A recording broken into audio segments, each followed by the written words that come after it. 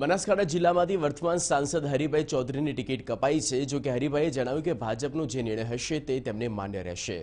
તેમણે પરબત પટેલને ભારે બહુમતીથી જીતાડવા અપીલ પણ કરી હતી.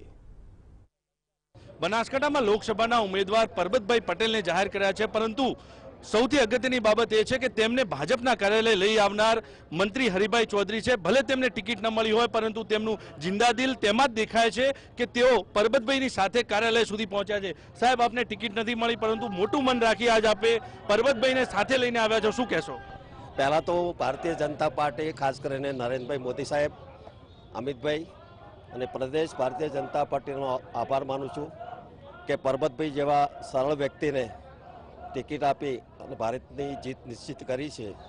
મને ભારતીય જનતા પાર્ટીએ છ વખત ટિકિટ આપી બે વખત પ્રદેશના ઉપપ્રમુખ બનાવ્યો. એ માટે પણ હું ભારતીય જનતા પાર્ટીનો આભાર માનું છું અને આજે સમગ્ર જિલ્લાને અપીલ કરું છું કે પરબતભાઈને ભારે બહુમતીથી જીતાડી અને એક કમળ નરેન્દ્રભાઈને મોકલશું એવો અડગ વિશ્વાસ છે. વરાજા સાથે અળવર તરીકે કામ હું જ કરીશ. સાહેબ ખાસ કરીને જે પ્રકારે મોટા ભાગે ઉમેદવારો જ્યારે જાહેર થતા હોય છે ને ટિકિટ કપાતી હોય છે ત્યારે લોકો વિરોધ નોંધાવતા હોય છે. પરંતુ આપની આ જ સરળતા છે કે આપ ઉમેદવારને સાથે લઈને તેમના અણવર બનવા આવ્યો છો. શું કહેશો? પહેલાં તો મારે પરબતભાઈના ચોત્રીસ વર્ષના સંબંધ છે. ઓગણીસો પંચ્યાસીથી જ્યારથી એમ અમે બંને સાથે કામ કરીએ છીએ અને પરબતભાઈ જેવા સરળ વ્યક્તિત્વ ટિકિટ આપી છે તો અમારા બધા કાર્યકર્તાઓ પણ ખુશ ખુશાલ છે.